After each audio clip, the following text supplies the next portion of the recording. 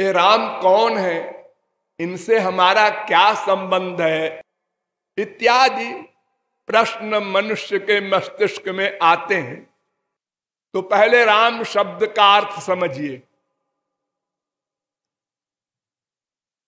रमन्ते योगिनो नन्ते सत्यानंदे चिदात्मनि इति राम पदे नासौ पर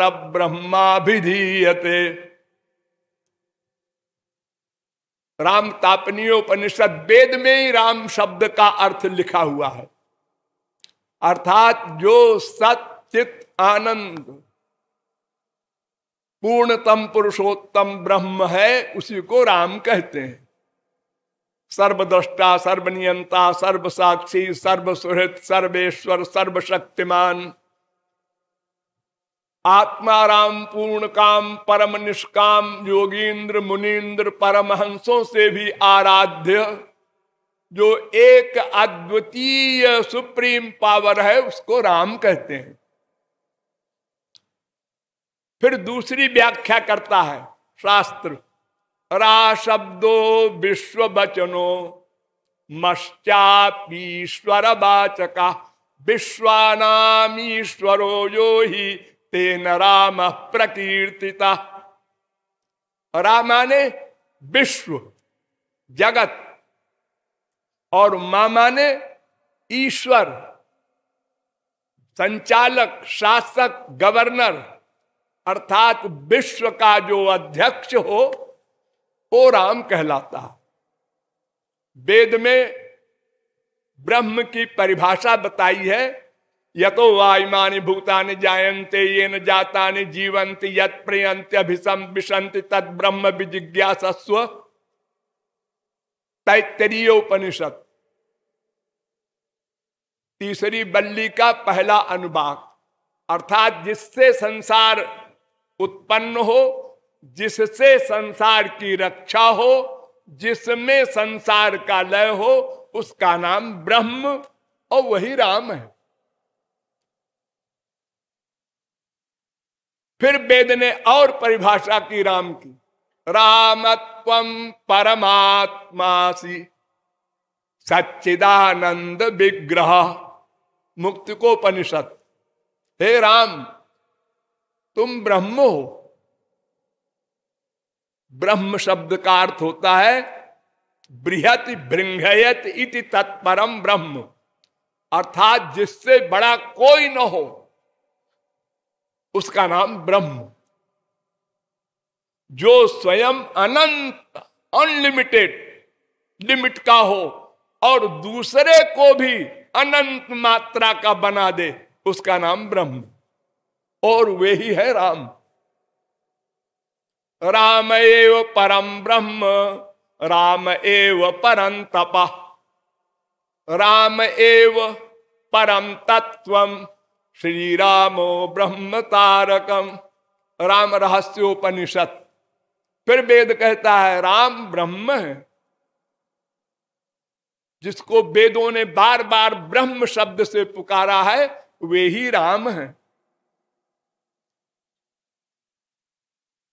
तम ब्रह्म परमम साक्षात। अध्यात्म रामायण। राम तुम ब्रह्म हो।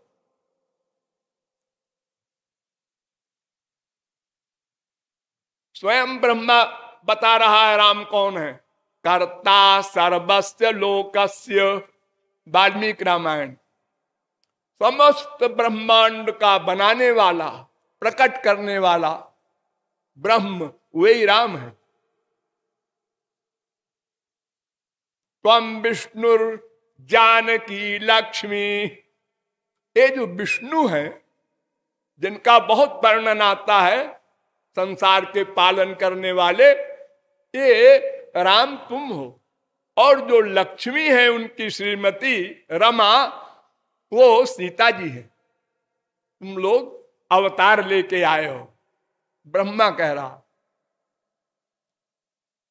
भवान हो देवस आप नारायण हैं? रामो नारायण साक्षात अध्यात्म रामायण। राम एव परम ब्रह्म। राम रहस्योपनिषद।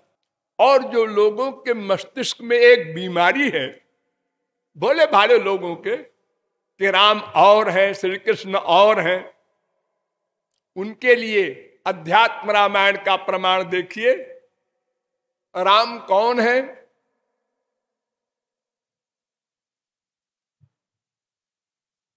अध्यात्म रामायण कहती है मायातीतम माधव माध्यम जगदादिम ये माया से अतीत, माया के अध्यक्ष और माधव।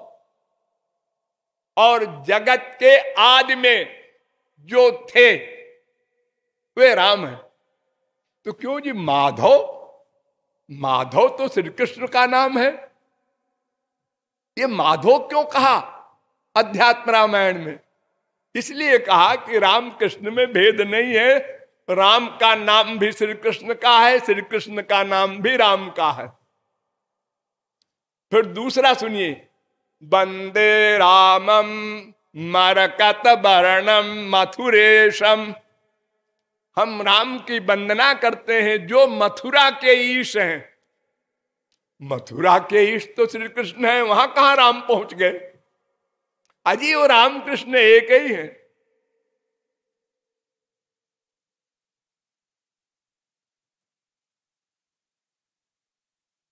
बंदित वृंदारक वृंदम, वृंदारण्य, बंदित वृंदारक वृंदे वृंदारण्य वृंदावन भी पहुँच गए राम। वृंदारण्य बंदित वृंदारक वृंदम हमारे देश में ऐसी बीमारी है, मैं अयोध्या में बहुत साल पहले गया एक सम्मेलन में तो वहाँ एक वृंदावन के महात्मा आए थे, वो अपना राधे राधे कीर्तन कराए तो वहाँ के हज़ारों बाबा बोले ही नहीं। क्या बुद्धि है? और ये उनकी अध्यात्म रामायण कह रही है ऐसा। तो रामकृष्ण में किसी में कोई भेद नहीं, न नाम में, न रूप में, न गुण में, न लीला में, न शक्ति में, किसी में कोई भेद नहीं। तो राम कौन है? ब्रह्म है। Supreme power. जिससे परे और कुछ न हो। वे राम ब्रह्म है। ठीक। तो तो उनको जानना है। कैसे जानेंगे? वेद कहता है, तमेव विदित्वाति मृत्यु में नान्य पंथा विद्यते जनाय। श्वेताश्वतरोपनिषद छठवें अध्याय का पंद्रहवा मंत्र। उस ब्रह्म को, उस राम को जान कर ही कोई माया से उत्तीर्ण हो सकता है, अर्थात आत्यंतिक दुख निवृत्ति हो सकती है। हम लोग क्या चाहते हैं? आत्यंतिक दुख निवृत्ति और अनंत मात्रा का अनंत काल के लिए आनंद। ये दो एम है हमारे। भोले भाले लोग तो इतने कह देते हैं, हमारा दुख चला जाए। दैहिक, दैविक, भौतिक, चौरासी लाख का जो चक्कर है हमारा, ये समाप्त हो जाए, उसको मोक्ष कहते हैं। लेकिन ये अल्पज्ञता है, मोक्ष नहीं मांगना है, खबरदार, सावधान। भगवत प्रेम मांगना है। मोक्ष बहुत निंदनीय वस्तु है। इसको तो हमारे यहाँ शास्त्रों में चुड़ैल कहा है। भुक्ति मुक्ति स्पृहाजावत पिशाची पिशाची हृदय वर्तते, तावद भक्ति सुख सत्र कथम अभ्युदयो भवे जब तक भुक्ति, माने ब्रह्मलोक तक के सुख, प्लस भुक मुक्ति ये दो चुड़ैले आपके अंतकरण में रहेंगी, तब तक भक्ति देवी का प्राकट्य नहीं होगा। एक पैर भुक्ति के ऊपर रखो, एक पैर मुक्ति के ऊपर रखो, तब प्रेमानंद की कामना करो।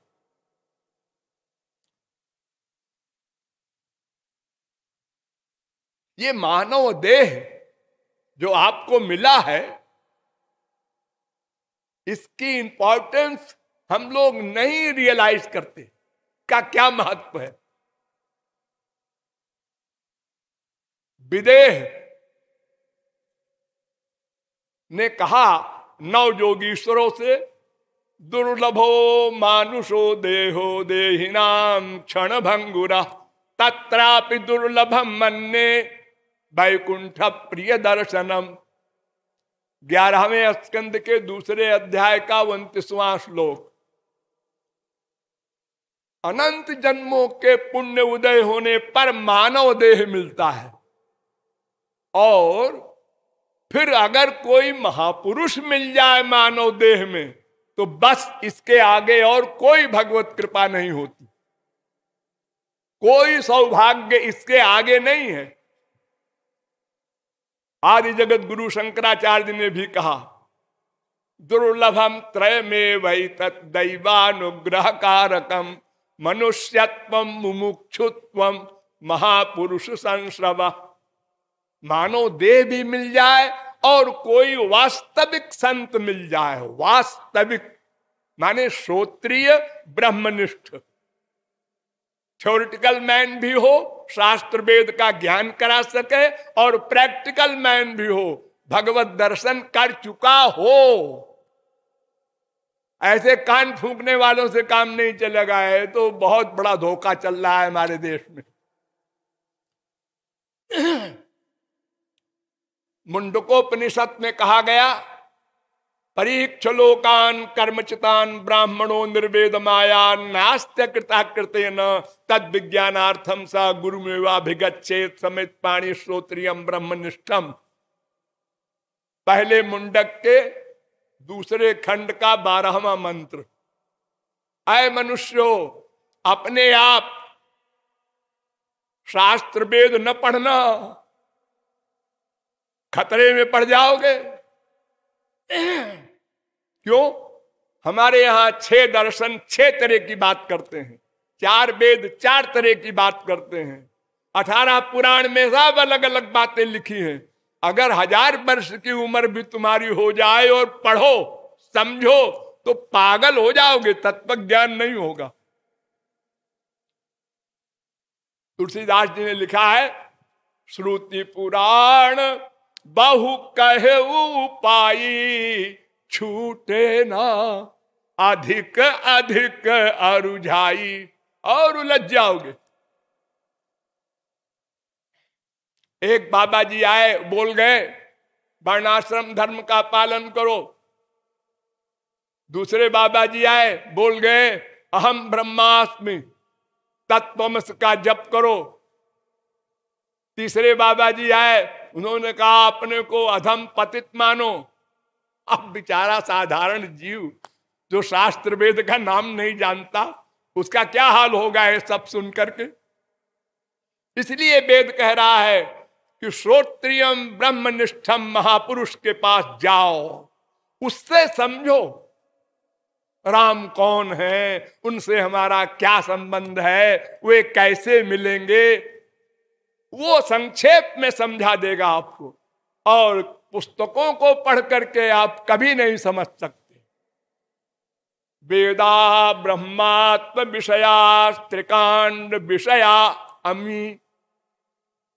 भागवत कहती है, वेद में तीन कांड हैं, लेकिन वो जैसे ब्रह्म, अज्ञेय है, ऐसे वेद भी अज्ञेय है, कोई नहीं उसका अर्थ समझ सकता, पढ़कर।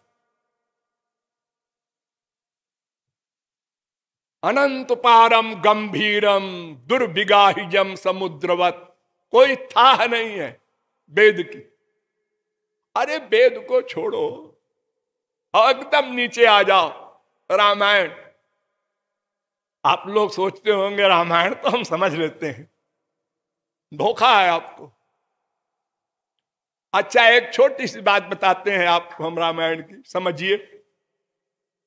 बिनु हरि कृपा मिल नहीं संता। बिना भगवान की कृपा के संत नहीं मिलते। ऐसा कहा। जब द्रवई दीन दयाल राघव साधु संगति पाइए, जब भगवान कृपा करते हैं, तब संत मिलता है। हम्म। समझ गए? हाँ। लेकिन फिर लिखते बड़े भाग्य हेलो संत बड़े भाग्य से मिलता है। पुण्य पुंज बिनु मिला ही न संता। सत संगति संस्कृति कर अंता। बड़े पुण्य से मिलता है संत। और भगवान की कृपा से मिलता है संत। इन दोनों में क्या सही है? दोनों लिखा। अरे मानो देह को देखो। बड़े भाग्य मानुष तनु पावा। सुर दुर्लभ सद ग्रंथन गावा। बड़े भाग्य से मिलता है मनुष्य का शरीर। और कबहू करी करुणा नर देही। देत ईश बिनु हेतु सने ही कभी भगवान कृपा करके मानव देह देते हैं। क्यों जी? अगर भगवान देते हैं तो उनका एहसान हम मानेंगे। फिर आप ये क्यों कहते हैं? अपने कमाई का फल है, अपने पुण्य है। अगर अपने पुण्य है तो भगवान को हम क्यों थैंक यू कहें? एक बात बताओ, क्या सही है दोनों में? हाँ दोनों लिखा है, हम पढ़ते तो है रामायण तो फिर क्या समझ, समझोगे तुम? इसलिए रामायण में कहा, जे श्रद्धा संबल रहित नहीं संतन को साथ, तिन कह मानस अगम अति। जिन न प्रिय रघुनाथ, तीन शर्त।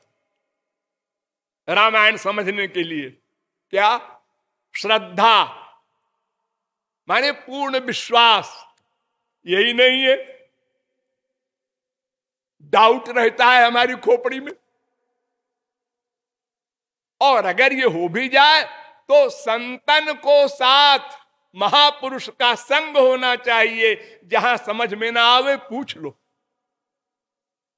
अपनी माइक बुद्धि से अर्थ न लगाओ। हमारा अनुभव तो सब मटेरियल है, हम क्या समझेंगे? स्पिरिचुअल जगत की बातें। और फिर रघुनाथ जी कामी नारी प्यारे जिम प्यारे लगे। ये तीन शर्त हो तो रामायण समझ में आएगी, आप पढ़ सकते अन्यथा नहीं। और गीता के लिए तो और कड़ा नियम है। इदंते ना तपस्काय ना भक्ताय कदाचन। न चा शुश्रूषवे वाच्यम न चमाम जोभ्यसूयति। शंकराचार्य ने इस श्लोक का भाष्य लिखा। जो तपस्वी न हो, पूर्ण विरक्त, उसको गीता ना सुनाना। जो भक्त न हो श्री कृष्ण का, उसको गीता ना सुनाना। वो न पढ़े गीता। और जो पूर्ण जिज्ञासु न हो, उसको न सुनाना। और जो श्री कृष्ण को भगवान न मानता हो, उसको भी न सुनाना। वरना वो कहेगा, क्यों जी? तुम्हारे श्री कृष्ण ने गीता में बड़ी तारीफ़ लिखी है अपनी। मैं भगवान हूँ, मुझसे बड़ा कोई नहीं है, मुझसे परे कोई नहीं है, सब मुझमें पूरा अध्याय का अध्याय। ऐसा तो नहीं, होता कोई बड़ा आदमी बड़ा आदमी तो कहता है, मैं बहुत ही नाचीज हूँ, अकिंचन हूँ टूटे फूटे शब्दों में बोलने जा रहा हूँ। अरे, दीनता के शब्द बोलने चाहिए भगवान तो ऐसा कैसा भगवान अपने आप को भगवान कह रहा? तो कोई भी ग्रंथ भागवत को ले लीजिए, आजकल सात दिन की भागवत होती है। बैकुंठ जाने के लिए। बड़े भोले लोग हैं। वो पंडित जी भागवत कह रहे हैं, संस्कृत में है अठारह हज़ार श्लोक। पंडित जी भी नहीं जानते उसका अर्थ, अठारह हज़ार का। खाली वो श्लोक पढ़ता जानते हैं। और जो सुनने वाला है, वो तो अपना उंघाता रहता है। आज जो समझ में ना आएगा तो बेचारा कितने घंटे बैठे। क्या करे वो? और उसने इसी प्रकार सात दिन कर लिया और उन्होंने कहा, बस ठीक है, हम गोलोक पहुँच जाएँगे। और जबकि भागवत कहती है तृणवन विपठन विचारण परो भक्त्या विमुचे नरा। भागवत को पढ़ो या सुनो, फिर विचारण परो, गंभीर विचार करो, उसका सेंस समझो। फिर भक्तिया भक्ति करो। तब मुक्ति होगी। अरे, जिसकी मुक्ति आप लोग सुनते हैं, परीक्षित की, वो तो भगवान को, की प्राप्ति गर्भ में ही कर चुका था। गर्भ में उसने भगवान का दर्शन किया। और जब पैदा हुआ, बाहर आया तो देख रहा था कि वो जो भगवान हमको दिखे थे गर्भ में, वो किधर है? ये परीक्षण कर रहा था, इसीलिए उसका नाम परीक्षित पड़ गया। भागवत सुनाने वाले सुखदेव, मायातीत परमहंस, सुनने वाला भी मायातीत। तो सात दिन क्या उनको तो सात मिनट की भी ज़रूरत नहीं है भगवत प्राप्ति करने में।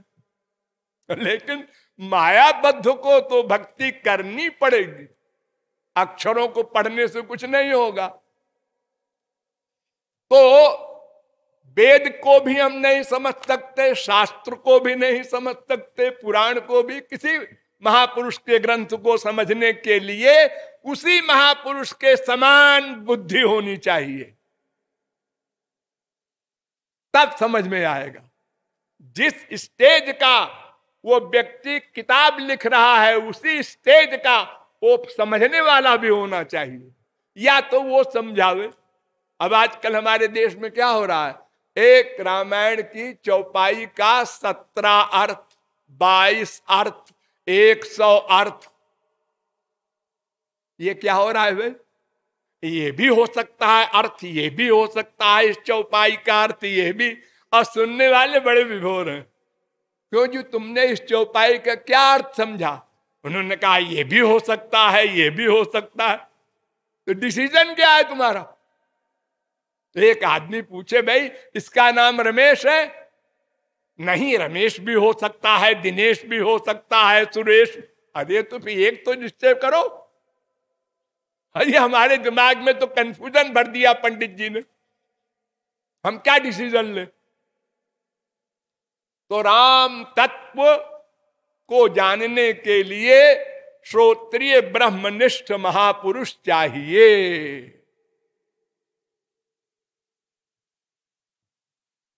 गीता में स्पष्ट लिखा है तद विधि प्रणिपाते न परिप्रश्न न से वया उपदेक्षंत ज्ञानम ज्ञानी न तत्वदर्शिना चौथे अध्याय का चौतीसवां श्लोक। भागवत में भी लिखा है तस्मात गुरु प्रपद्ये तो जिज्ञासु श्रेय उत्तम शाब्दे परे च निष्णातम ब्रह्मंडुपमाश्रयम ग्यारहवें स्कंद के तीसरे अध्याय का इक्कीसवां श्लोक। और रामायण भी कहती है,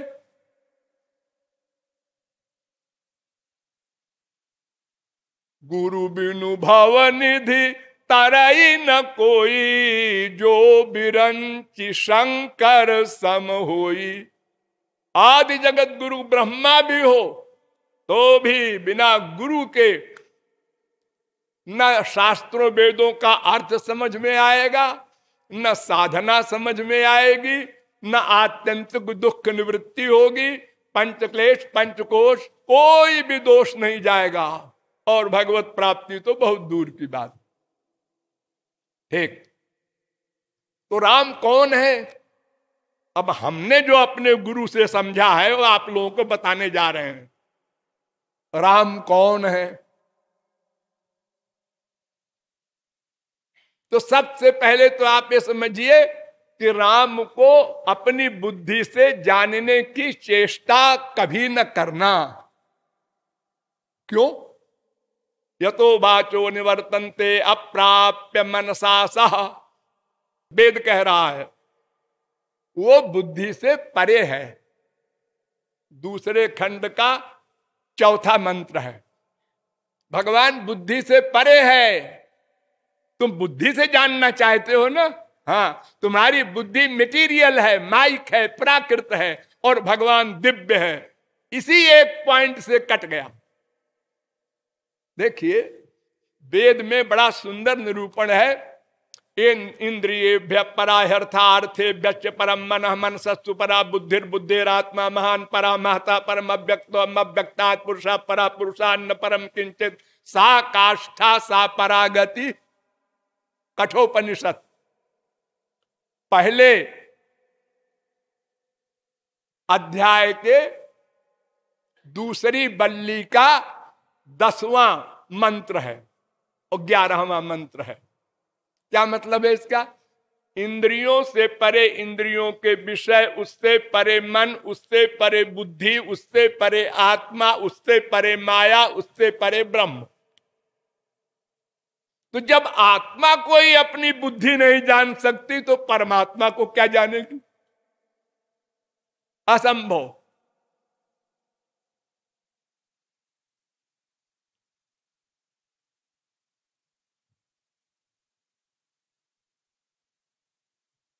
यही बात बिल्कुल इसी तरह की गीता में बता दिया। भगवान ने इंद्रिया पराण्याहुर इंद्रिय परम मना मन सस्तु परा बुद्धिर बुद्धे परतस्तुषा इंद्रियों से परे मन मन से परे बुद्धि बुद्धि से परे वह।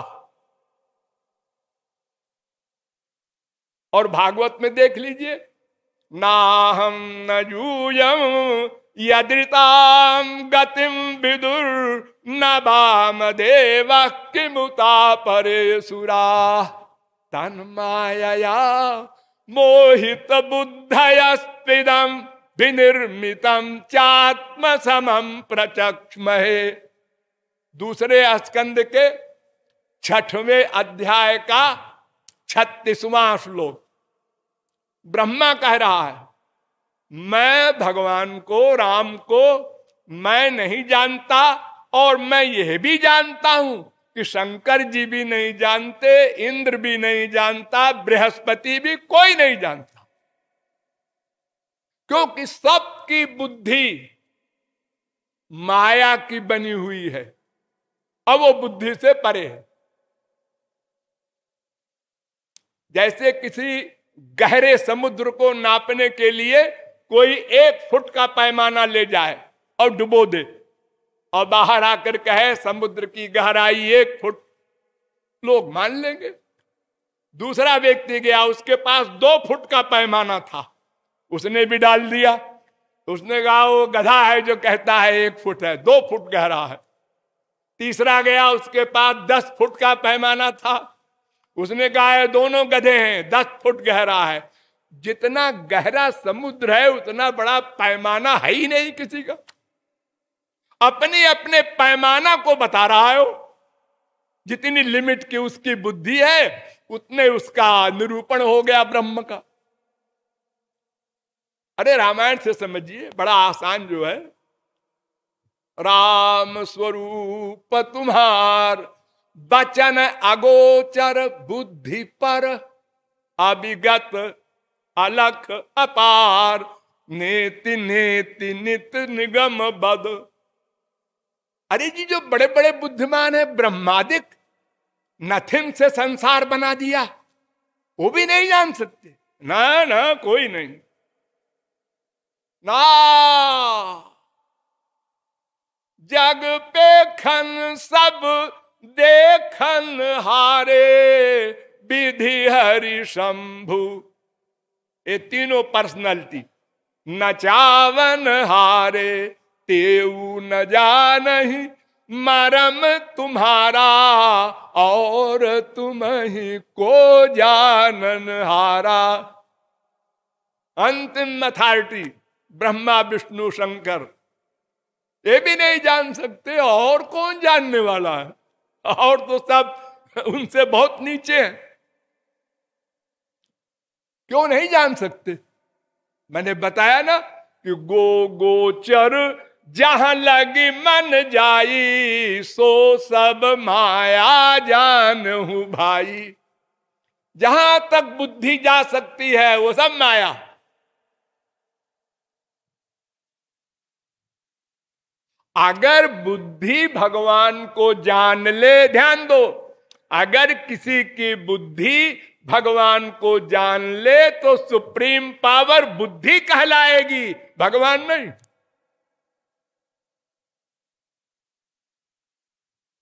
यन मनसा न मन से ये तजे नाहुर मनोमतम तदेव ब्रह्म तम विद्धि नेदम यदिदुम उपासते यक्षुषा न पश्यति जे न चक्षु ग्वंसी पश्यति, तदेव ब्रह्म तम विद्धि नेदम यदिदुम उपासते यत प्राणेन न प्राणीति जे न प्राण प्रणीयते, तदेव ब्रह्म तम विद्धि। वेद बार बार कह रहा है कि इंद्रिय मन बुद्धि का प्रकाशक है राम। तो प्रकाशक से प्रकाशित वस्तु अपने प्रकाशक की प्रकाशिका नहीं हो सकती। अननेचुरल इसलिए भगवान को कोई नहीं जान सकता। इसलिए भगवान को जानने का प्रयत्न ना करो, ये जान लो। कोई पूछे कि कृपालु ने क्या बताया भगवान के बारे में? तो ये बताया उन्होंने कि भगवान को जानने का लेबर न करना। उसके जानने का जो उपाय है वो करना। अपनी बुद्धि से जानने की चेष्टा ना करो, अनावश्यक। कोई लाभ नहीं होगा और नुकसान हो जाएगा। देखो, रामावतार को ही ले लो। राम ने जो जो लीलाएँ की, उसको देखा लोगों ने, हम लोगों ने भी देखा, हम लोग भी थे उस समय। हमसे भगवान सीनियर नहीं है। भगवान भी अनाद, हम भी अनाद, माया भी अनाद। ये तीनों अनाद हैं। वेद कह रहा है ज्ञा वजा भीष निशा वजा हेका, भोक्तृभोग्यार्थ युक्ता, अनंतश्चात्मा विश्व रूपो कर्ता त्रयम जदा बिंदते ब्रह्म में तत् श्वेता चतरोपनिषद राम जा रहे हैं सीता को खोजते हुए। हम्म हम लोगों ने देखा। क्या कर रहे हैं? अपनी श्रीमती को खोज रहे हैं। अच्छा ए, ऐसे कैसे खोजना होता है भला? रे वृक्षा पर्वतस्था गिर गहन लता बाजुना बीजमाना रामो हम व्याकुलात्मा दशरथ तनया शोक शुक्रेण दग्धा। बिंबोष्ठी चारु नेत्री सुविपुल जघना बद्ध नागेन्द्र कांची। हा सीता, केन नीता, मम हृदय गता, को भवान, केन दृष्टा? राम, रोते हुए। देखिए, राम की परिभाषा है ब्रह्म, माने आनंदमय। सदा वो रो रहे हैं। पहला तो यही आश्चर्य। क्यों जी, ये ब्रह्म है? हाँ ये रो रहे हैं। ब्रह्म कहीं रोता है? क्या आप मज़ाक करते हैं? और रोते हुए क्या कर रहे हैं? ए वृक्षो, पेड़ों से पूछ रहे हैं, तुम्हारे नीचे से हमारी सीता गई है क्या? भला पेड़ बोलेगा? ये भी होश नहीं है राम को। ऐसी पोजीशन में हमने जब देखा तो हम लोगों ने क्या कहा होगा? लला मजनू का रिकॉर्ड तोड़ दिया। अरे, भगवान है। अरे, क्या बकवास करते हो? भगवान तो सर्वज्ञ, सर्वदृष्टा, सर्वनियंता सर्व साक्षी सर्वेश्वर। ऐसा होता है। ऐसा थोड़े होता है कि वो पेड़ से बात करे। अरे, वो तो उन स्त्री की बात छोड़ो। अनंत कोटि ब्रह्मांड में प्रत्येक ब्रह्मांड के प्रत्येक लोक के प्रत्येक देश के प्रत्येक प्रांत के प्रत्येक ग्राम के प्रत्येक पोखरे में रहने वाले करोड़ों जीवों के अनंत जन्मों के प्रत्येक क्षण के प्रत्येक संकल्प को नोट करता है। एक भगवान तो वो अपनी श्रीमती का हाल नहीं जानता, जो पेड़ों से पूछ रहा है। और आश्चर्य देखो, राम कह रहे हैं लक्ष्मण से को हम ब्रूह सके। क्यों जी? मैं कौन हूँ? लक्ष्मण को भी नहीं पहचानते, अपने को भी नहीं पहचानते। तो कहते हैं, क्यों जी? मैं कौन हूँ? लक्ष्मण कहते हैं, आर्या, आप आर्ज हैं। आर्य सको, कौन सा आर्य? कह, राघव, आप राघव हैं। अच्छा मैं राम हूँ। के यूयम तुम कौन हो? महाराज दासो स्मित लक्ष्मण, आपका दास लक्ष्मण हूँ। अच्छा अच्छा आप समझा, मैं राम हूँ, तुम लक्ष्मण लेकिन हम दोनों यहाँ जंगल में क्या कर रहे हैं? कांतारे की मिहास महे, जंगल में क्या कर रहे हैं? महाराज देव्यागत मृग्यते देवी जी को ढूंढ रहे हैं। देवी? का देवी कौन देवी रे? जनकाधिराज तनया, माता जानकी को। ओ हा जानकी। बेहोश हो गए। अब आप लोग सोचिए कि इस हालत में हमने जब देखा होगा राम को तो क्या नहीं सोचा होगा? और अपने को सोचा होगा कि है भाई, दुनिया में किसी की भी स्त्री खो जाए पुलिस में रिपोर्ट करो और आदमी भेजो, रेडियो से अनाउंस कराओ, ये करो, वो करो। ये क्या बकवास है? तो हम राम को कैसे समझेंगे? सुगम, अगम, नाना, चरित, सुनि, मुनि, मन, भ्रम हो। अरे, पार्वती सरीखी, ब्रह्मांड नायक, गवर्नर की बीबी शंकर जी के साथ जा रही थी तो शंकर जी ने राम को प्रणाम किया। पार्वती ने कहा, ये भी किसी को प्रणाम करते हैं? और ऐसे आदमी को जो अपनी स्त्री के लिए पागल हो रहा है।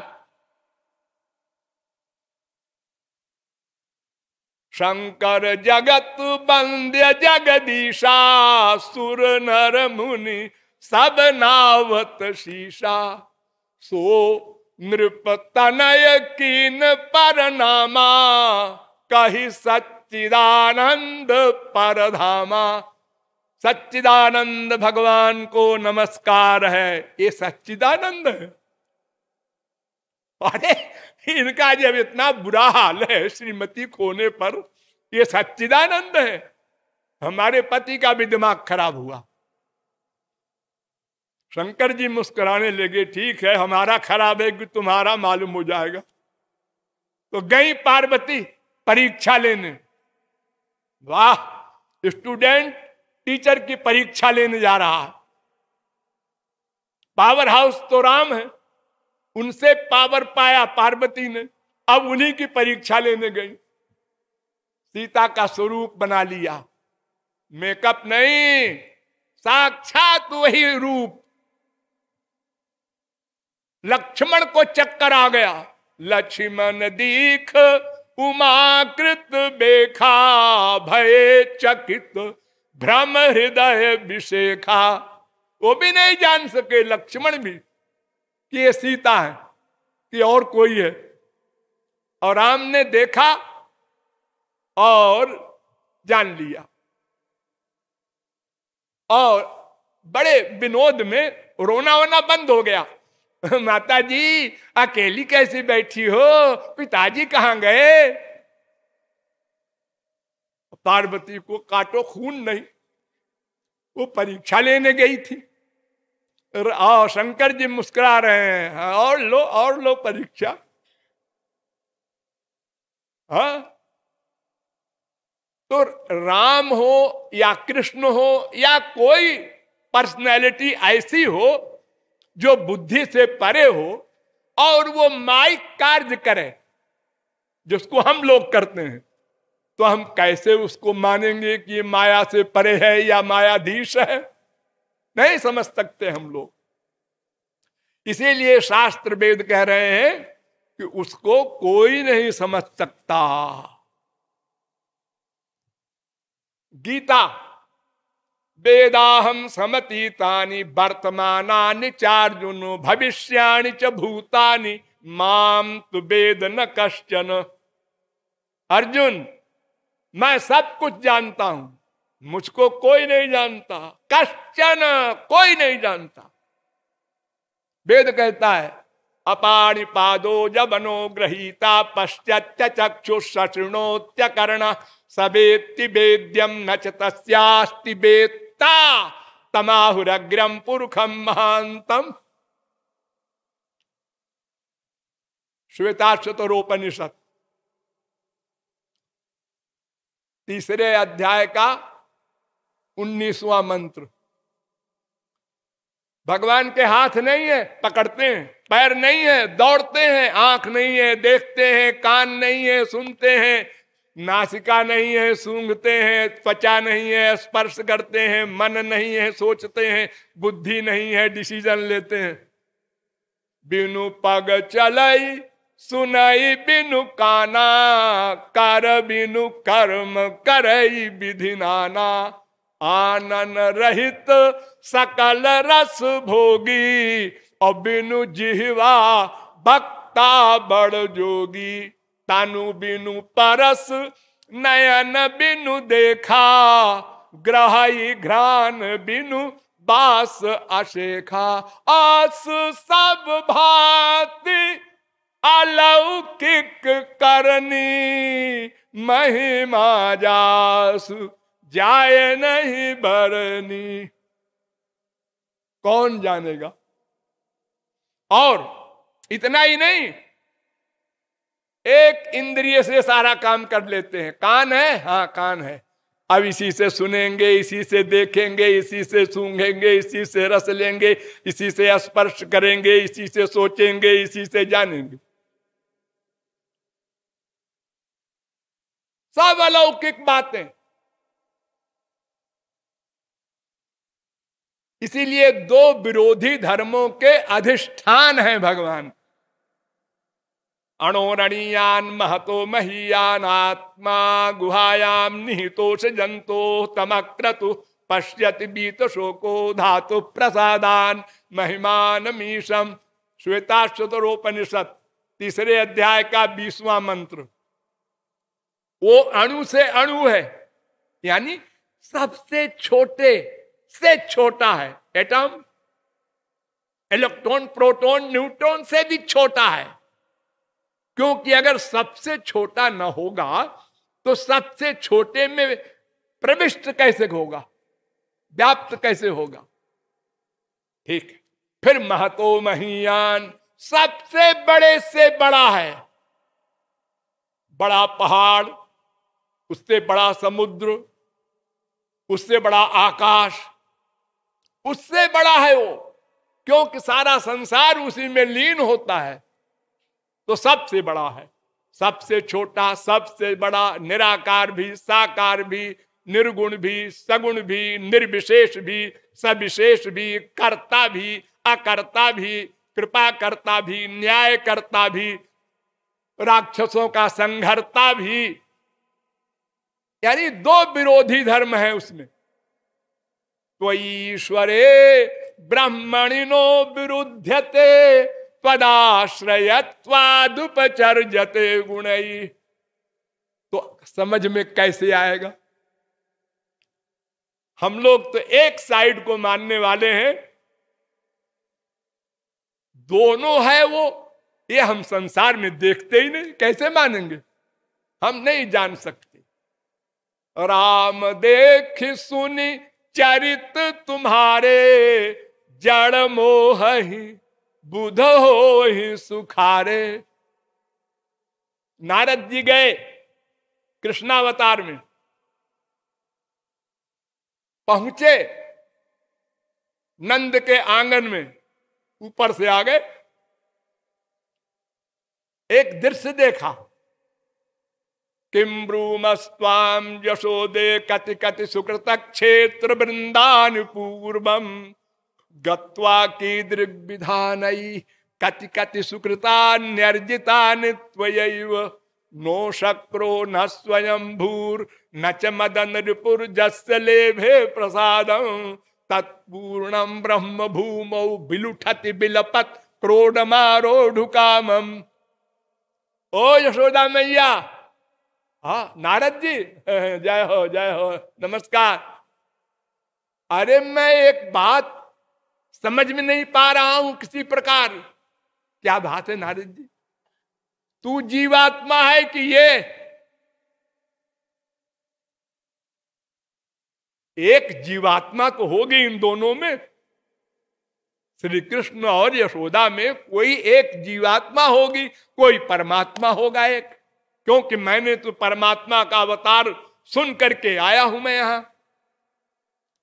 यशोदा चुप रही।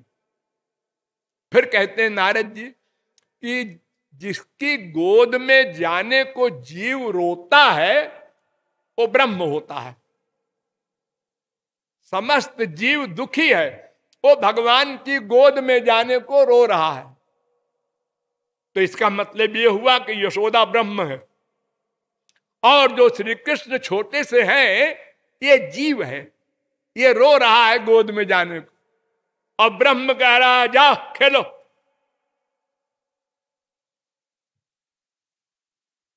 यशोदा ने कहा, नहीं नहीं, ऐसा नहीं है भाई। यही ब्रह्म है। मैं तो जीव हूँ। लेकिन ये सब प्राइवेट बात है। लीला में मुझको भी इसने भुला दिया है कि मैं जानती हूँ ये ब्रह्म है। मैं भी भूली हूँ। बेटा मानती हूँ, लाला मानती हूँ। और यह भी भूला है कि मैं ब्रह्म हूँ। ये दोनों को भुलाने वाला कौन? उसका नाम योग माया। भगवान की एक पर्सनल पावर है। सबसे पर्सनल उसका नाम योग माया। वो भगवान की भगवत्ता भुला देती है और जीव का जीवत्व तो भुला देता है। दोनों अपने अपने स्वरूप को भूल जाते हैं। जैसा कि आप लोगों ने रामायण में पढ़ा होगा, प्रभु तरु तर, कपिडार पर। राम नीचे बैठे हैं और हनुमान वगैरह सब पेड़ के ऊपर बैठे हैं। न तो राम को होश है कि डांट दे, क्या बदतमीजी है, नीचे बैठो। अरे उनको पता ही नहीं कि मैं राम स्वामी हूँ। और हनुमान जी वगैरह को भी ये होश नहीं है कि मैं दास हूँ। ये पेड़ की डाल पर राम की खोपड़ी के ऊपर बैठा हूँ। दोनों भूल जाते हैं। तभी रस बनता है। अगर ये ना हो तो कि भगवान एक्टिंग करते हैं भक्तों के साथ, वो भूलते थोड़े होंगे। अरे, एक्टिंग करे तो कौन भक्त उनसे प्यार करे? ऐसा नहीं है फैक्ट है। योग माया के कारण भगवान भगवत्ता भूलते हैं, जीव जीवत्व भूलता है। तब दोनों एक लेवल पर आते हैं। भगवान ने कहा गौरांग महाप्रभु के शब्दों में कि देखो, हमको अपने से बड़ा मत मानो तुम लोग, मनुष्यों। आपना के बाढ़ माने, आमार समहीन। या तो हमको अपने से छोटा मानो, जैसे यशोदा मैया उखल में बाँध देती है, और या तो बराबर मानो, बड़ा मानोगे तो प्यार नहीं कर सकोगे। संसार में भी छोटा बड़े से प्यार करने में डरता है। कैसे प्यार करेगा वो? उसकी पर्सनैलिटी को जो सोचता है तो भय पैदा होता है। अरे कहा भगवान, कहा हम? तो भगवान ने कहा है सब तुम मत सोचो। हमसे, हमारे प्रति तुम्हारा जो भाव है, माँ का मानो, बाप का मानो, भाई का मानो, सखा का मानो, पति का मानो, ये संसारी भाव की तरह मानो। जरा भी मत बीमारी लाओ खोपड़ी में कि भगवान है। देखो, संसार में भी कोई स्त्री, मैंने अपने कानों सुना है एक बार इलाहाबाद में मैं आठ नौ जजों के यहाँ जाया करता था हाई कोर्ट में। बिंध्यवासिनी वगैरह उस समय थे, रघुवर दयाल वगैरह। तो एक जज के यहाँ से दूसरे के यहाँ गए, ड्राइंग रूम में खड़े हुए तो हमने अंदर के कमरे से एक आवाज़ सुना। बीबी पति से कह रही थी कि तुमको कभी अकल नहीं आएगी। ओ, ओ और मैं जानता था उन जज साहब के यहाँ बहुत बार गया था कि स्त्री मामूली पढ़ी लिखी है और पति से कह रही तुमको कभी अकल नहीं आएगी जो ज़िंदगी और मौत का फैसला करता है। तो खैर मैं अंदर चला गया। जहाँ दोनों लड़ रहे थे आए महाराज जी आए महाराज जी आए। वो सब गोलमाल हो गया। लेकिन हमने फिर उखाड़ा उस विषय को। हमने कहा क्यों भाई? मैं तो समझ रहा था कि ये जस्टिस साहब ऐसा ऐसे मुकदमे करते हैं बड़े बड़े बीहड़। और तुम कहती हो, इनको अकल नहीं है। हाँ महाराज जी, देखिए, फिर उसके बाद भी वो उसने माना नहीं। क्योंकि उसको बस इतना भाव है, हमारे पति है। वो जस्टिस टस्टिस होते होंगे, वहाँ कोर्ट के हमको उससे मतलब नहीं। हा? हमारी माँ हमको ऐसे डांटती थी। तो कोई सुने तो आश्चर्य करे। जब गुस्से हो, ए जगत गुरु, इधर आ। वो भाव है उनका, वो ऐश्वर्य का चिंतन नहीं कर सकते। ऐश्वर्य का चिंतन करेंगे तो प्यारे ही नहीं कर सकते फिर। फिर तो डर जाएँगे। तो राम को कोई नहीं जान सकता, क्योंकि वो इंद्री मन बुद्धि से परे हैं, दिव्य हैं वे प्रेरक हैं, सब प्रेरज हैं, वो प्रकाशक हैं, सब प्रकाश हैं। कोई भी गति ऐसी नहीं है जिससे हम राम को जान सकें। फिर क्या करें? अब फिर चलो वेदों में। नायमात्मा प्रवचने न लभ्यो, न मेधया, न बहुधा श्रुते, न जमे वैश वृणुते न लभ्य आत्मा विवृणुते तनुग्वम स्वाम कठोपनिषद। पहले अध्याय के दूसरी बल्ली का तेईसवा मंत्र। ये क्या कह रहा है? इस परमात्मा को, इस राम को, जो सबके अंदर बैठा है, कोई व्यक्ति किसी साधना से नहीं जान सकता। करोड़ कल्प तप करे।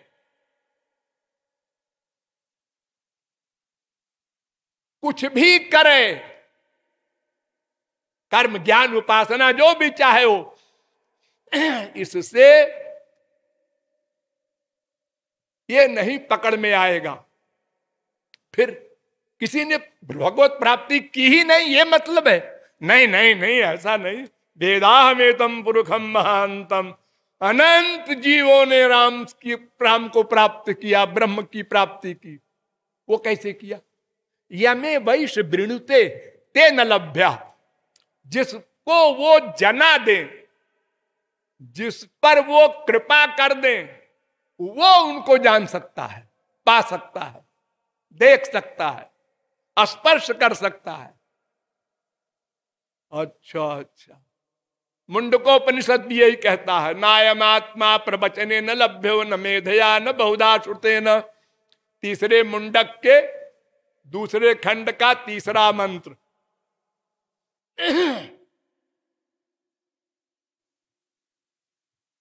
वेद का उद्घोष सुन लिया आपने? अणोरणीयान महतो महीयान आत्मा गुहायाम निहितो से जंतो तमक्रतु पश्चति बीतुषो को धातु प्रसादान। भगवान की कृपा से उसको कोई जान सकता है।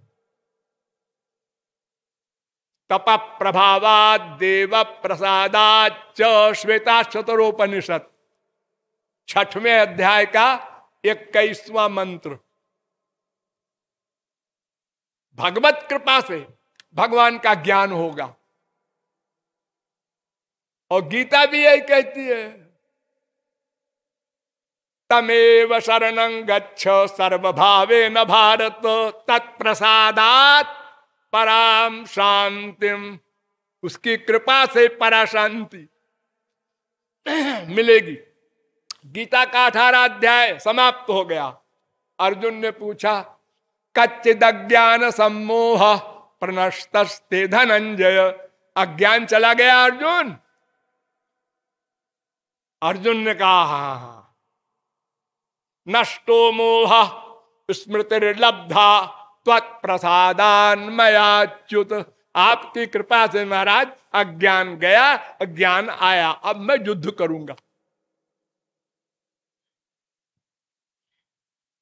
तो भगवान की कृपा से ही भगवान का ज्ञान हो सकता है, भगवान का दर्शन हो सकता है, जो कुछ तुम चाहो, भगवत संबंधी विषय, वो सब उनकी कृपा से ही मिलेगा।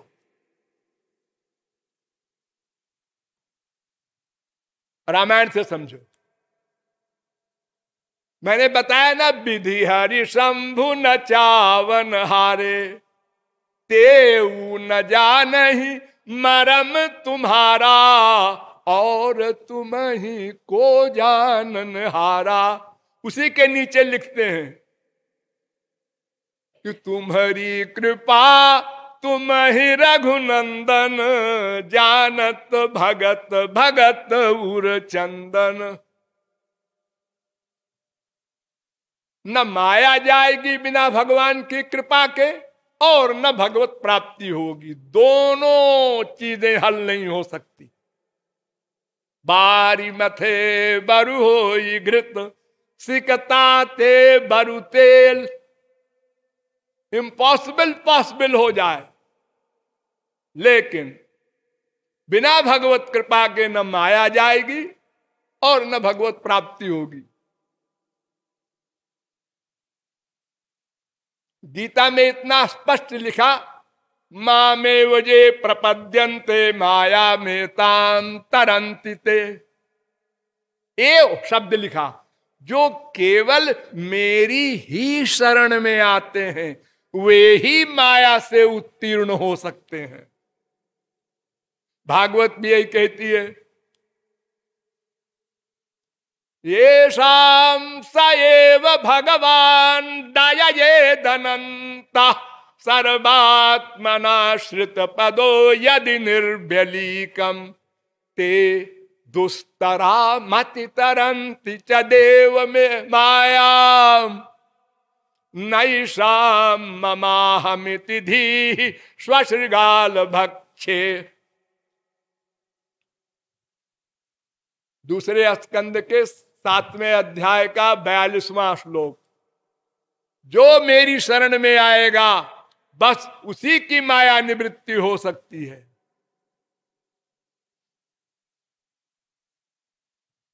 और कोई सूरत नहीं। उसी शरणागति को भक्ति कहते हैं। ध्यान दो, शरणागति माने भक्ति। कंप्लीट सरेंडर माने भक्ति, मन बुद्धि का समर्पण। उसी को वेद कह रहा है, यस्य देवे परा भक्तिर जथा देवे तथा गुरु तस्ते कथिता ही अर्था प्रकाश्यंते महात्मना। श्वेताश्वतरोपनिषद छठवें अध्याय का तेईसवा मंत्र। जैसी भक्ति भगवान में हो, वैसी भक्ति गुरु में हो और पूर्ण सरेंडर शरणागति हो, तब भगवत प्राप्ति की आशा करो। वेद कह रहा है उपासते पुरुषम जेष कामास्ते शुक्र में दति बरतंत धीरा। मुंडकोपनिषद तीसरे मुंडक का, दूसरे खंड का पहला मंत्र। जो संसारी सब कामनाओं को छोड़कर केवल भगवान की उपासना करता है, राम की भक्ति करता है, उसी की माया निवृत्ति हो सकती है।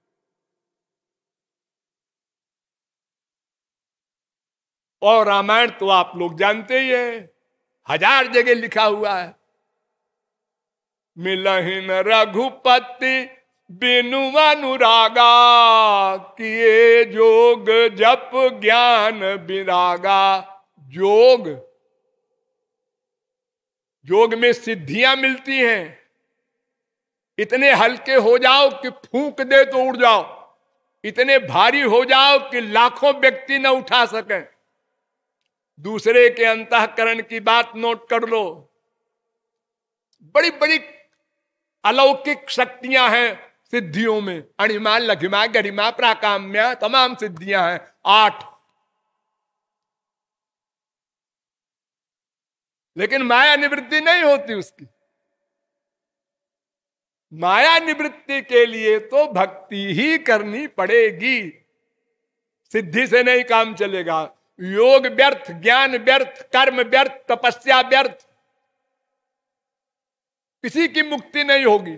साधक, सिद्ध, विमुक्त, उदासी, कवि, कोविद, कृतज्ञ, सन्यासी, योगी, शूर, सुतापस, ज्ञानी धर्म निरत पंडित, विज्ञानी, ताराई न बिनु से ये मम स्वामी, राम नमामि नमामि नमामि।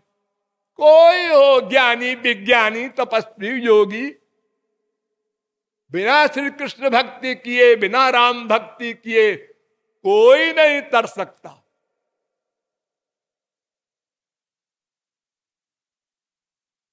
यह माया इतनी बलवती है कि शिव चतुरानन देख डेराही, अपर जीव के ही लेखे माई भगवान को कौन जानेगा? अब देखिए, मैं गंवारी भाषा में आप लोगों को बताता हूँ, जब कभी कोई आपसे पूछे तो सीधे सीधे बता देना। भगवान को कौन देख सकता है? जवाब, भगवान। भगवान का स्पर्श कौन पा सकता है? भगवान। भगवान के शब्द कौन सुन सकता है? भगवान। भगवान को कौन जान सकता है? भगवान। तो जीव ने कैसे जाना? भगवान ने अपनी आँख जीव में डाल दी, शक्ति आँख वाली, कान वाली कान में डाल दी, नासिका वाली नासिका में डाल दी, और बुद्धि वाली बुद्धि में डाल दी तो भगवान की शक्ति सब प्लस हो गई मटेरियल में तो सब स्पिरिचुअल हो गए। तब हमने भगवान को देखा, सुना सूँगा रस लिया, स्पर्श किया, जाना, एक साथ ऐसे नहीं जान सकते। ऐसे तो कैसे जानेंगे? हाँ, वो भी समझ लीजिए। राम खड़े हैं धनुष यज्ञ में। हम लोग भी थे। देखा। विदूषण प्रभु विराट मय दिशा बहुमुख कर पद लोचन शीशा। आश्चर्य। आप संसार में किसी को देखते हैं तो तीन बात हो सकती है। या तो अच्छा लगे, सुंदर लगे, और या तो खराब लगे, देखा, हटा लिया आँख। और या तो कॉमन मैन लगे हाँ ठीक है।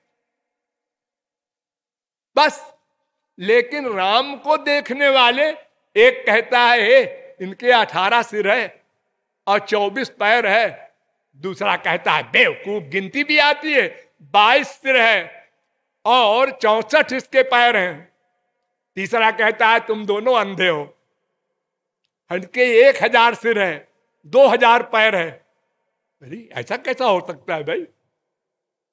ये कैसा शरीर है भगवान का?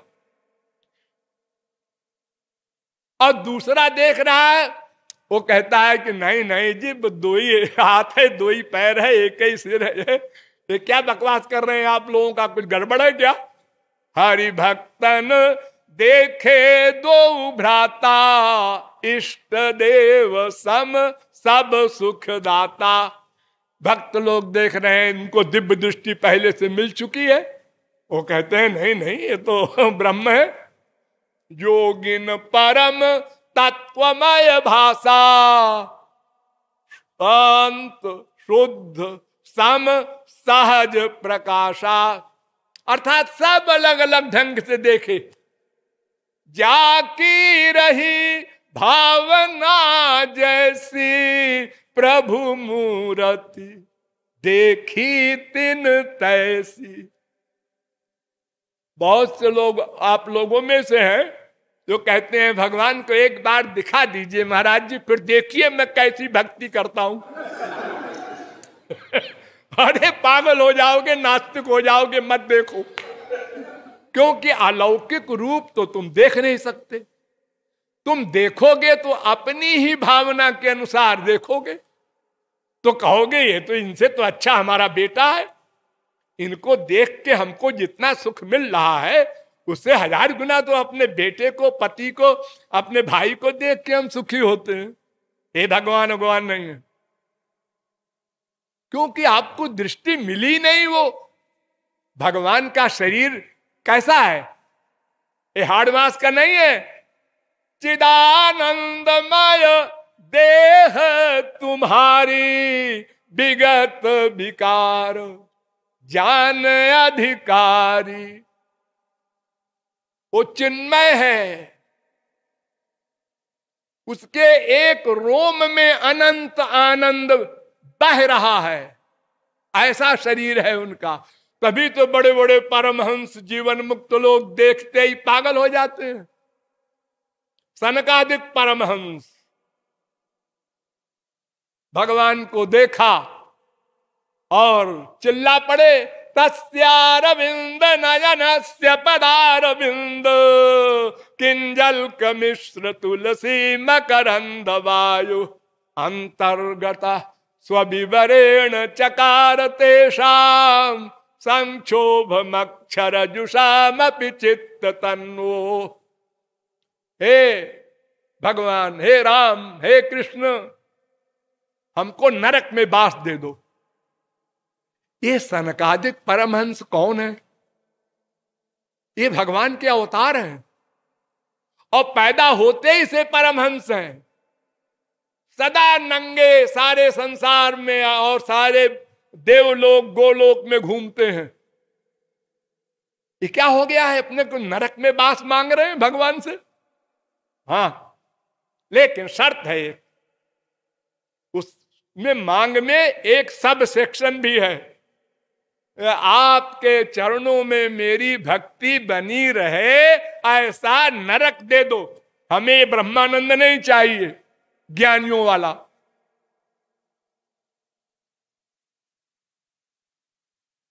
अरे रामायण से समझ लो।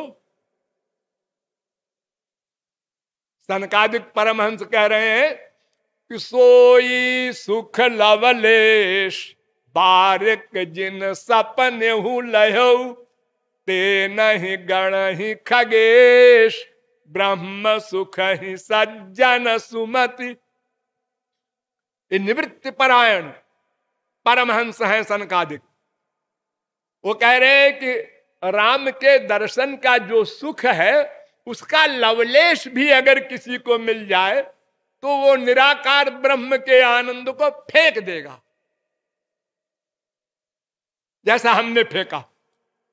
और प्रवृत्ति परायण परमहंस है जनक।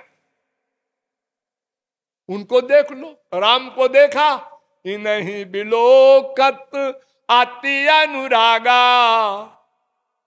बस ब्रह्म सुख ही मन त्यागा। ज़बरदस्ती ब्रह्मानंद भाग गया। सहज विराग रूप मन मोरा। एक तो वैराग्य का चिंतन करना पड़ता है। बुद्धि लगानी पड़ती है। ना ना।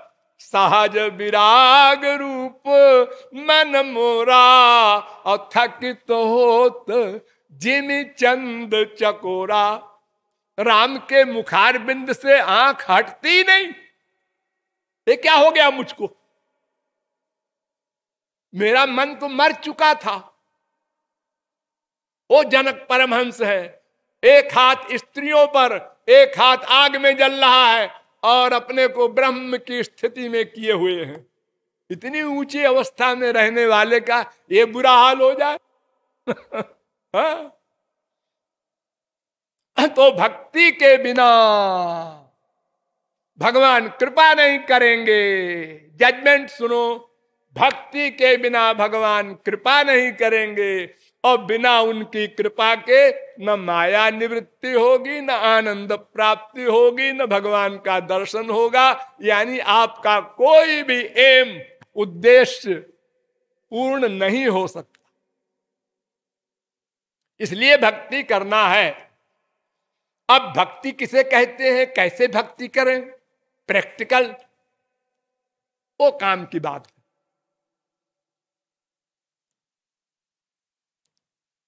अंत में बड़े सिद्धांत के द्वारा परीक्षित ने सुखदेव से पूछा योतव्यम अथो जप्यम यत कर्तव्यम निर्भि प्रभो स्मर्तव्यम भजनीयम वा, ब्रूहि यद वा विपर्जयम? पहले स्कंद के उन्नीसवें अध्याय का अड़तीसवां श्लोक परीक्षित कहते हैं, महाराज सीधे सीधे बता दीजिए हमको क्या करना है, भक्ति के अंतर्गत. उत्तर दिया सुखदेव परमहंस ने।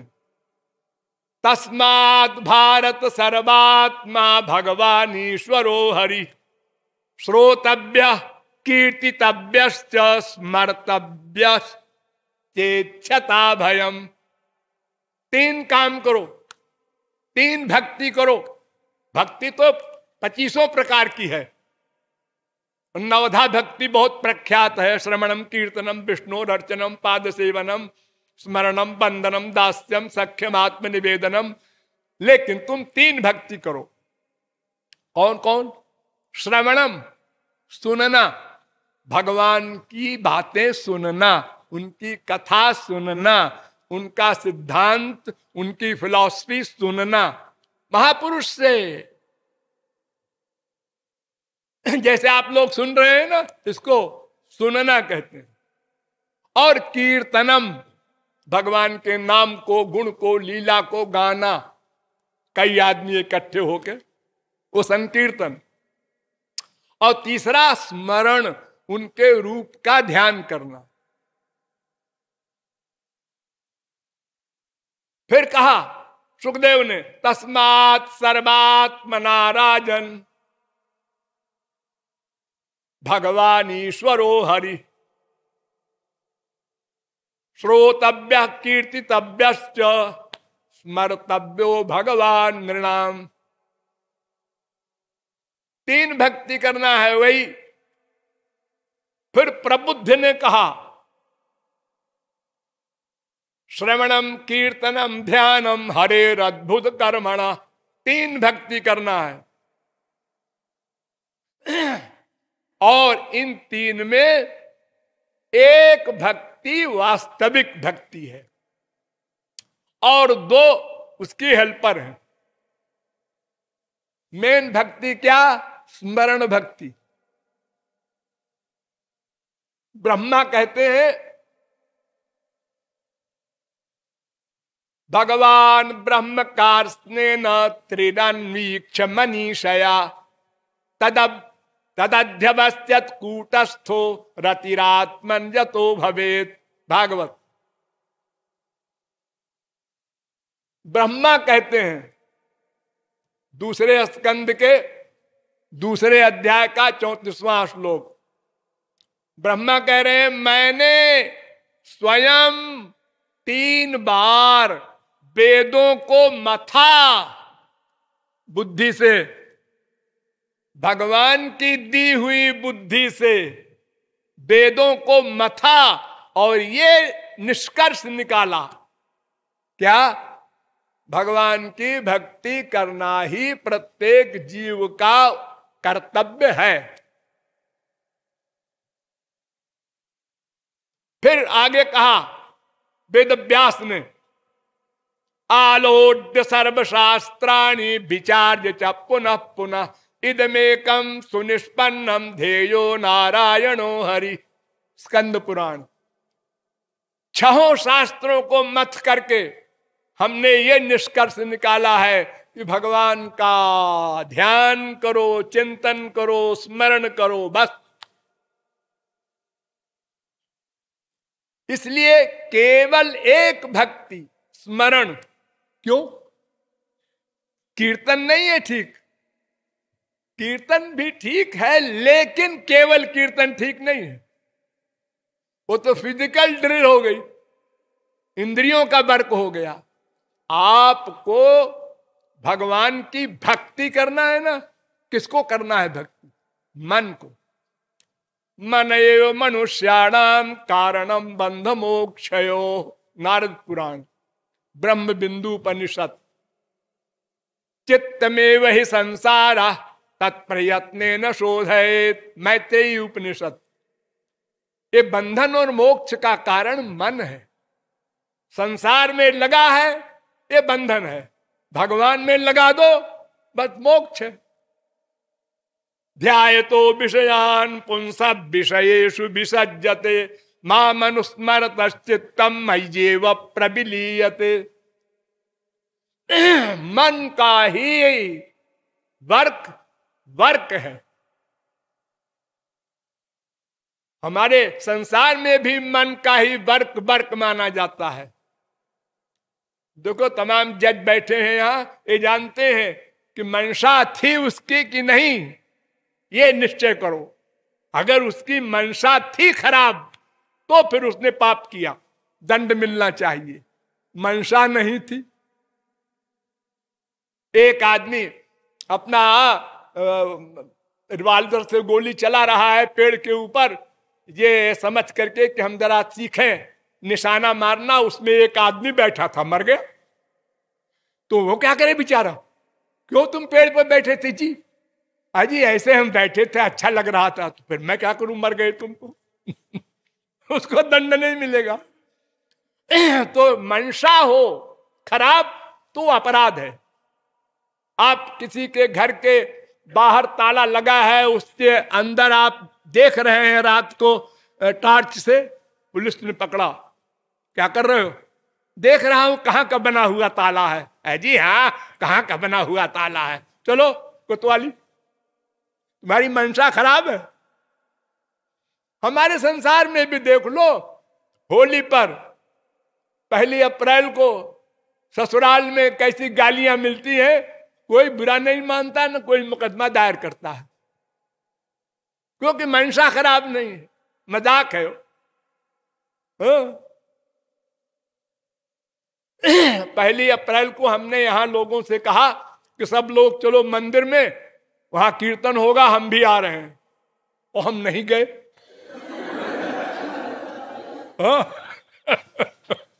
हमने कहा, सब लोग कहते हैं कि आज के दिन फूल बनाना चाहिए। अरे, फूल को फूल बनाना कोई सेंस नहीं रखता। ऐसे क्या कम फूल है हम लोग। लेकिन फिर भी लोग बनाते हैं एक एंजॉयमेंट के लिए, मनोविनोद के लिए। तो एक भक्ति है स्मरण। कीर्तन है हेल्पर है अच्छा है। श्रवण है, वो भी आवश्यक है। अगर आप जानेंगे नहीं राम कौन है, जीव क्या है, ब्रह्म क्या है, माया क्या है, साधना कैसी करनी है, ये सही सही नहीं जानेंगे तो क्या होगा? हमारे देश में करोड़ों लोग भगवान की भक्ति कर रहे हैं, बिचारे। लेकिन क्या कर रहे हैं? जानते ही नहीं, उनके गुरु उनको समझाए नहीं, गुरु कोई ज्ञान नहीं था। कोई रामायण की चौपाइयाँ पढ़ रहे हैं, कोई गीता के श्लोक पढ़ रहे हैं, कोई और अपना ग्रंथ का अक्षर पढ़ रहे हैं, अक्षर। अक्षर पढ़ने से क्या होगा? अरे गीता में लिखा है माम एकम शरणम ब्रज भगवान कह रहे हैं अर्जुन से, मेरी शरण में आ जा। और हमने पढ़ा माम एकम शरणम ब्रज हम किसकी, किससे कह रहे हैं, शरण में आओ? अरे शरण में जाना है प्रैक्टिकल। खाली कहने से क्या होगा? एक तोते को पढ़ा दिया पाठ, आए तोते, उस नली पर न बैठना फंस जाएगा। उसने रट लिया और नली पे बैठ गया और कहता है, नली पे न बैठना, फंस जाएगा और फंस गया। ऐसा हमारा ज्ञान क्या काम देगा? इसलिए स्मरण भक्ति करना है। मनेर स्मरण प्राण। स्मरण प्राण है। और बाकी भक्ति शरीर है। शरीर में प्राण है तो शरीर की भी इंपॉर्टेंस है। प्राण निकल गया, अब वो शव हो गया। तुरंत निकालो घर से बाहर। जल्दी जलाओ 24 घंटे के अंदर।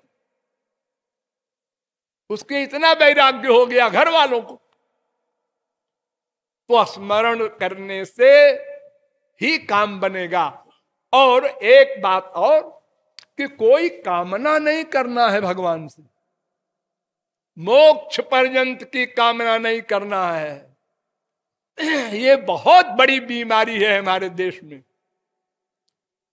इतने मंदिरों में लोग घूमते हैं, ये वैष्णो देवी जा रहे हैं, ये अमुक हनुमान जी के यहाँ, अमुक देवी जी के यहाँ, आजकल देवी जी के मंदिरों में क्या भीड़ होती है। इसमें 99.9 परसेंट लोग सकाम है। संसार मांगने जाते हैं। हमारी बेटी का ब्याह हो जाए, हमारे लड़का नहीं है, लड़का हो जाए, हमारे सर्विस में हम सस्पेंड हो गए हैं सर्विस हो जाए फिर से। ये ये कामना ले लेके जाते हैं। और अगर बाई चांस प्रारब्ध के अनुसार लड़का हो गया और देखो, वैष्णो देवी ने सुन लिया। ए, तुम भी जाओ, मांगो लड़का। हो गया। नहीं मिला। हमको तो नहीं मिला। तो तुमने ठीक से मांगा ना होगा। अब वो लड़का बीमार हुआ, सीरियस, फिर गया वैष्णो देवी।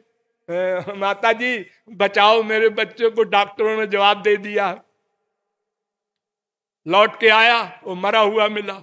अरे, कुछ नहीं, क्या वैष्णो देवी वगैरह है?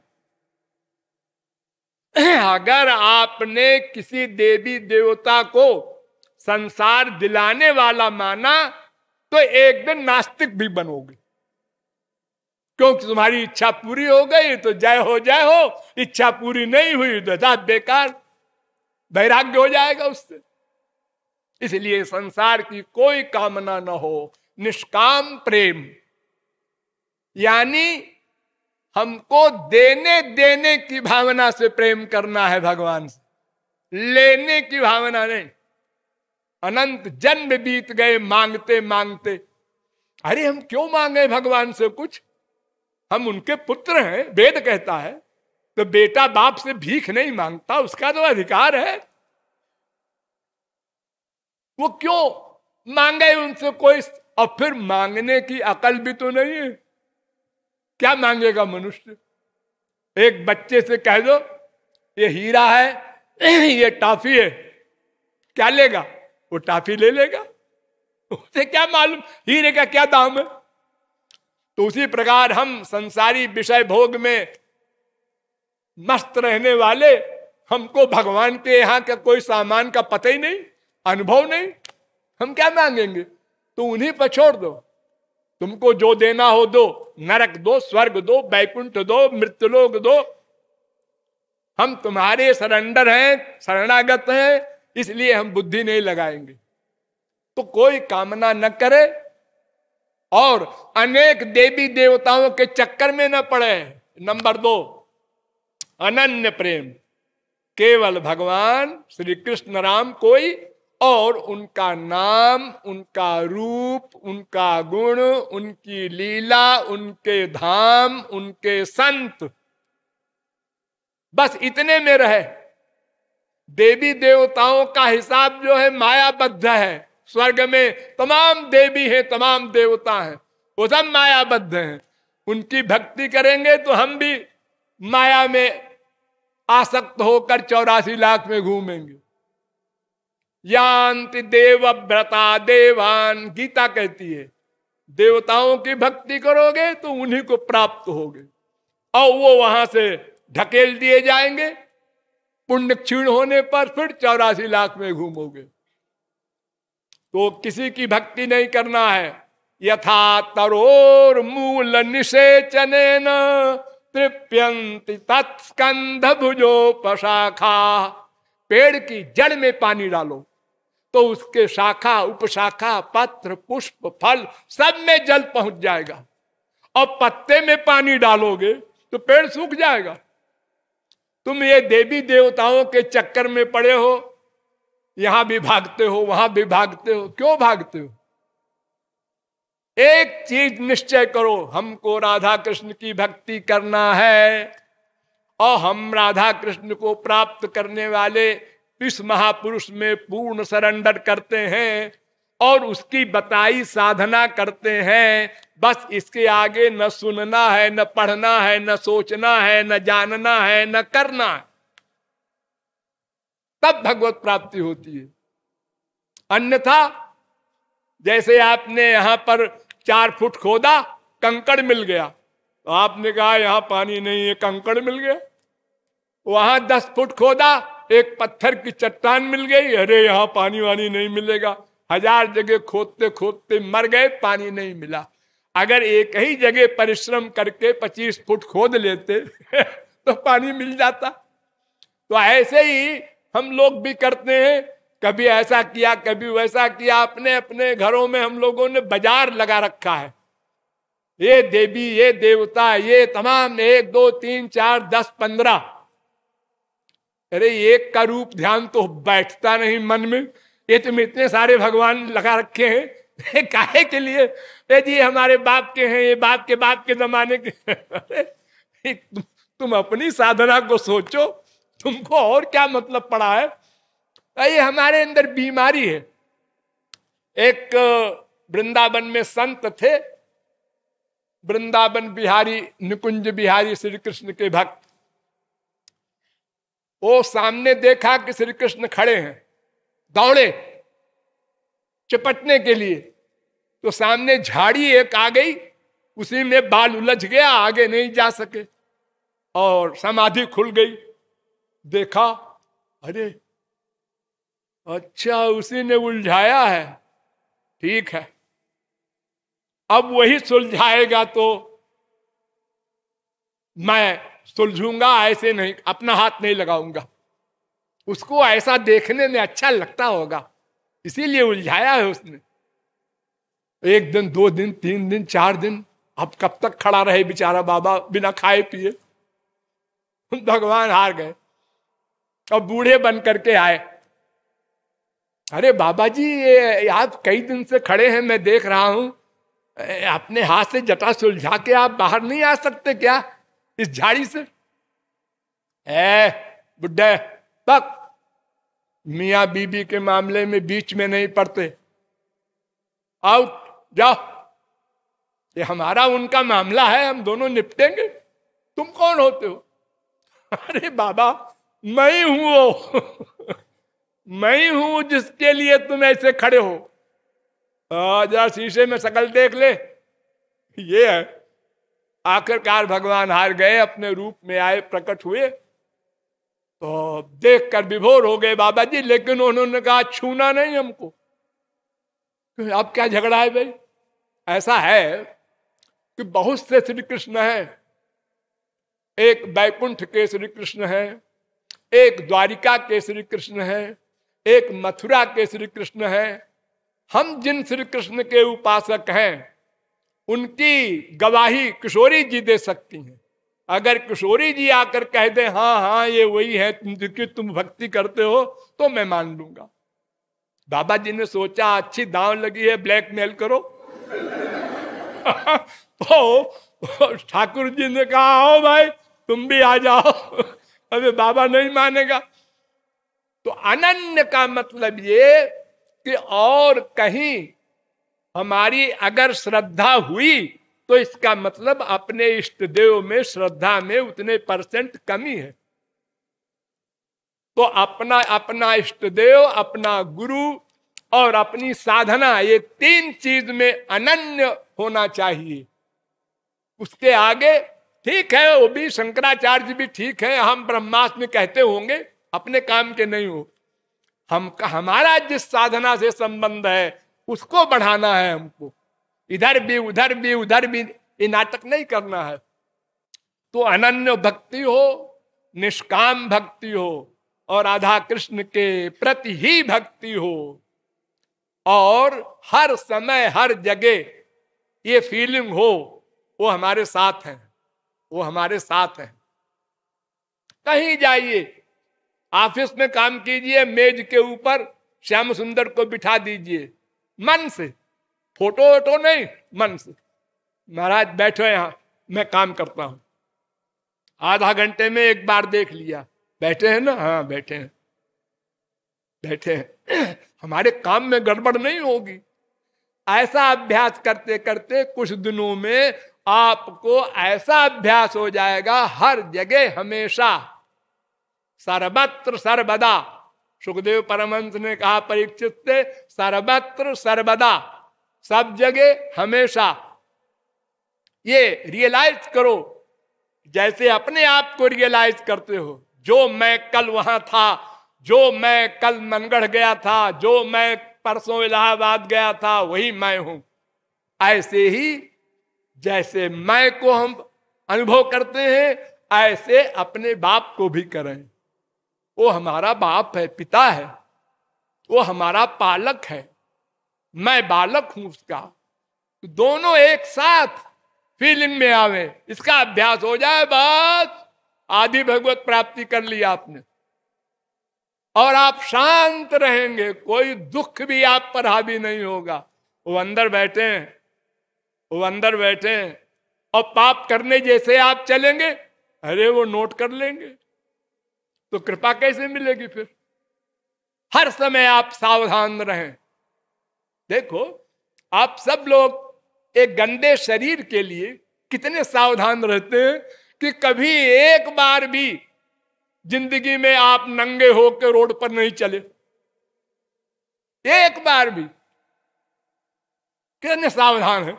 गंदे शरीर को इतनी इंपॉर्टेंस है आपके खोपड़ी में और आत्मा के लिए नहीं है। उसमें आप भूल जाते हैं। ये भूल जाते हैं कि वो नोट करता है हर समय। जितनी देर पूजा वगैरह में आप बैठते होंगे, मान लो, ठीक ठीक करते होंगे, उसके बाद भूल गए, एकदम भूल गए। हाँ और जहाँ भूले, वहाँ अपराध होगा। आपकी प्राइवेसी आपसे अपराध कराती है। प्राइवेट, जो मैं सोच रहा हूँ, कोई नहीं जानता। बीबी के खिलाफ सोच रहे हैं बैठ के। पति के खिलाफ सोच रही बीबी बैठ के।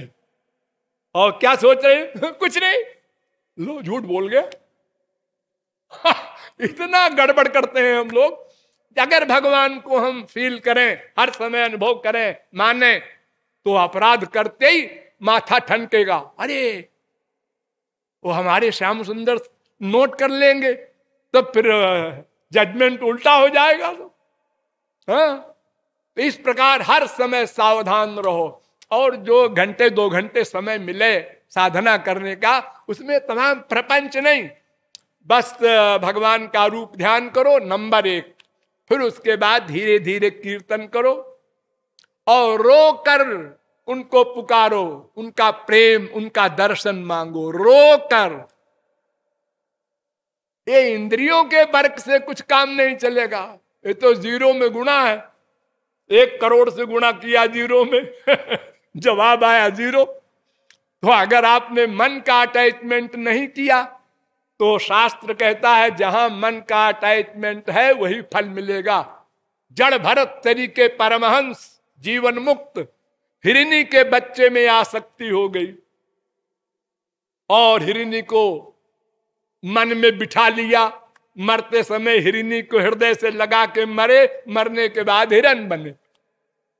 तो जीवन मुक्त का ये हाल है तो मायाबद्ध का क्या? उसकी क्या गिनती है? तो इस प्रकार सब साधनाओं से युक्त होकर हम अंतकरण शुद्ध करें। ये हमारा काम। अंतकरण शुद्ध होने के बाद गुरु स्वरूप शक्ति देकर अंतकरण को दिव्य बना देगा। सब इंद्रियाँ भी दिव्य हो जाएँगी, मन भी दिव्य हो जाएगा। तब दिव्य भगवान का दर्शन, स्पर्श आज मिलेगा, तब माया निवृत्ति होगी। त्रिगुण, त्रिकर्म, त्रिदोष, पंचक्लेश सब समाप्त हो जाएँगे। और सदा पश्यंत सूर्य, तद विष्णु परम पदम। वेद मंत्र के अनुसार सदा भगवान के लोक में अनंत आनंद युक्त होकर रहेगा। और उसका लक्ष्य प्राप्त हो जाएगा। शेष फिर कभी। बोलिए वृंदावन बिहारी लाल की राघवेंद्र सरकार की।